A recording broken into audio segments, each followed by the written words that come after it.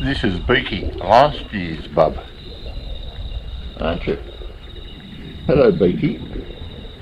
He hasn't been up here for a hand feed before. He's always been a bit shy. Haven't you, mate? Just a little bit shy.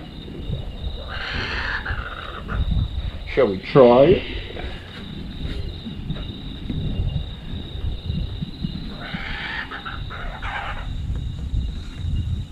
Not yet.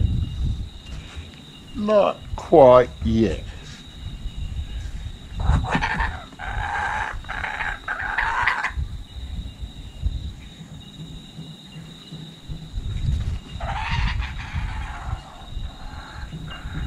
Step by step,